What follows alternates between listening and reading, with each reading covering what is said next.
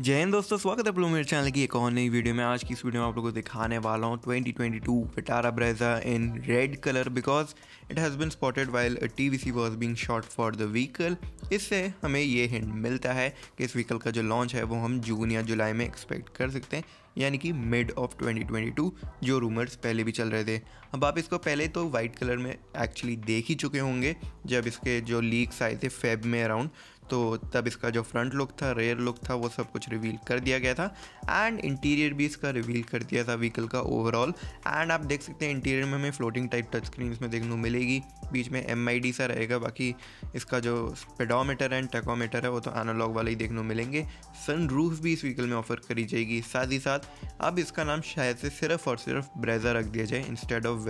Brezza तो और चीज़ों के बारे में बात करेंगे तो आप अपनी स्क्रीन के सामने स्पाई शॉट देख सकते हैं। ये है रेड कलर में डुअल टोन पेंट में एक्चुअली जिसकी रूफ है वो ब्लैक है एंड बॉडी पेंट जो नीचे वाला बॉडी है, उसका पेंट है रेड आप फ्रंट से देख सकते हैं व्हीकल की, इसमें आपको एलईडी हेडलैम्प्स देखने को मिलेंगे एंड ओवरऑल काफ़ी रगेड सी और काफ़ी अच्छी सी लुक आ रही है व्हीकल की, जैसे कि आप अपनी स्क्रीन के सामने देख सकते हैं इस time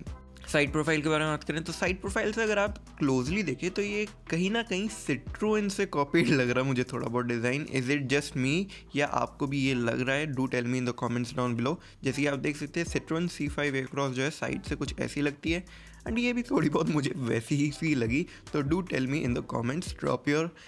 thoughts in the comments down below तो आप देख सकते हैं ओवरऑल साइड प्रोफ़ाइल इस व्हीकल की ऐसी रहेगी। And this vehicle is going to be totally change as compare with the current model जो कि एक टाइप से फ़र्स्ट जनरेशन की फेसलिफ्ट ही बिक रही है। अभी ये एक टाइप से सेकेंड जनरेशन यानी कि ऑल न्यू मॉडल रहने वाला है। बट स्टिल आप इसको देख के पता लगा सकते हैं कि ये एक विटारा ब्रेजा ही है। It is not that much changed but हाँ इसमें काफ़ी हमें ज़्यादा अच्छे अच्छे चेंजेस देखने को मिल जाते हैं व्हीकल में ओवरऑल एंड अगर हम इस व्हीकल की इंजन स्पेसिफिकेशंस के बारे में बात करें तो इंजन हमें वही सेम वाला देखने को मिल सकता है, जैसे कि अभी हमें ब्रेजा में भी देखने को मिला 1.5 लीटर का dual jet V V T वाला मोटर, जो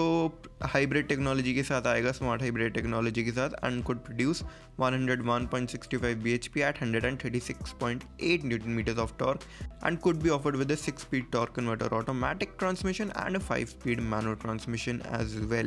क्या पता फ्यूचर में इसमें हमें सी वेरिएंट भी देखने को मिल जाए। एंड साथ ही साथ इसमें हम एक्सपेक्ट कर सकते हैं थोड़ी better crash safety rating by global NCAP as well क्योंकि अगर अभी करंट वाली जो है ब्रेजा वही फोर स्टार सेफ्टी लेके आती है। तो इसमें तो कम से कम फाइव स्टार तो देखने को मिल ही सकती है हमें। And this vehicle will be based on the same global C platform जो कि अभी वाली ब्रेजा में भी देखने को मिलता है एंड मतलब कि अर्बन क्रूजर में भी। एंड साथ ही साथ जब twenty twenty two Brezza launch हो जाएगी भारतीय मार्केट में, उसके बाद हम एक्सपेक्ट कर सकते हैं अर्बन क्रूज़र को भी to be launched as well तो उसमें हम थोड़े बहुत changes to the front and rear expect कर सकते हैं। ये थोड़ी ऑफ़ कोर्स डिफरेंट रहेगी। जैसे कि अभी हमें ग्लैंजा एंड बेलेनो के बीच में डिफरेंसेस देखने को मिले हैं।